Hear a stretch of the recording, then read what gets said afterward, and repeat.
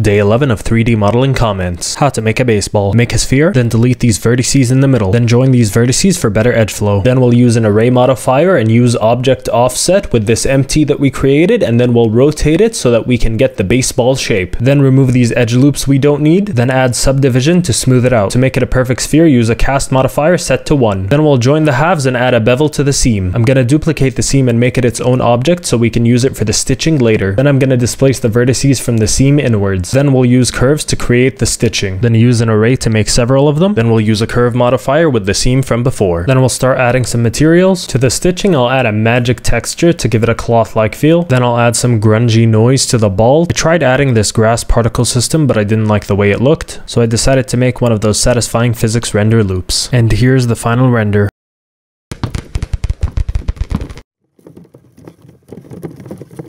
Comment what I should model next. Dovolo.